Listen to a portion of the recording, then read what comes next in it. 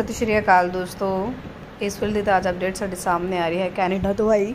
ਬਹੁਤ ਹੀ ਮਾੜੀ ਖਬਰ ਖਬਰ ਨੂੰ ਸ਼ੁਰੂ ਕਰਨ ਤੋਂ ਪਹਿਲਾਂ ਜਿਨ੍ਹਾਂ ਲੋਕਾਂ ਨੇ ਚੈਨਲ ਨੂੰ ਸਬਸਕ੍ਰਾਈਬ ਨਹੀਂ ਕੀਤਾ ਸਬਸਕ੍ਰਾਈਬ ਕਰ ਲੈਣ ਤੇ ਵੀਡੀਓ ਨੂੰ ਅੱਤ ਵਾਲਾ ਲਾਈਕ ਤੇ ਸ਼ੇਅਰ ਵੀ ਕਰ ਦੇਣਾ। ਕੈਨੇਡਾ ਦੇ ਤਿੰਨ ਰਾਜਾਂ ਦੇ ਵਿੱਚ ਖਤਰਨਾਕ ਬੈਕਟੀਰੀਆ ਇਨਫੈਕਸ਼ਨ ਦੀ ਚੇਤਾਵਨੀ ਜਾਰੀ ਕਰ ਦਿੱਤੀ ਗਈ ਹੈ।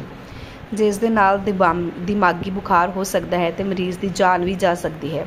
ਸੀਸੀਟੀਵੀ ਦੀ ਰਿਪੋਰਟ ਦੇ ਮੁਤਾਬਿਕ ਓਨਟਾਰੀਓ ਮੈਨੀਟੋਬਾ ਤੇ ਕਿਊਬੈਕ ਦੇ ਵਿੱਚ ਮੈਨੀਜ਼ਾਈਟਿਸ ਦੇ ਮਰੀਜ਼ਾਂ ਦੀ ਗਿਣਤੀ ਵਿੱਚ ਵਾਧਾ ਹੋ ਰਿਹਾ ਹੈ ਅਤੇ ਇਕੱਲੇ ਟੋਰਾਂਟੋ ਸ਼ਹਿਰ ਦੇ ਵਿੱਚ 13 ਮਰੀਜ਼ ਸਾਹਮਣੇ ਆ ਚੁੱਕੇ ਨੇ ਅਤੇ ਦੋ ਜਣਿਆਂ ਦੀ ਮੌਤ ਹੋ ਗਈ ਹੈ। ਦੂਜੇ ਪਾਸੇ ਅਮਰੀਕਾ ਦੇ ਵਿੱਚ ਮੌਜੂਦਾ ਵਰੇ ਦੇ ਦੌਰਾਨ 140 ਤੋਂ ਵੱਧ ਮਾਮਲੇ ਸਾਹਮਣੇ ਆਉਣ ਦੀ ਰਿਪੋਰਟ ਹੈ।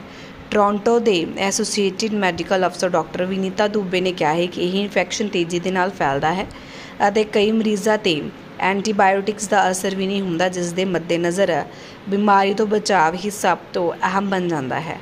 ਬਾਕੀ ਖਬਰ ਨੂੰ ਅੰਤ ਤੱਕ ਦੇਖਣ ਲਈ ਤੁਹਾਡਾ ਬਹੁਤ ਬਹੁਤ ਧੰਨਵਾਦ।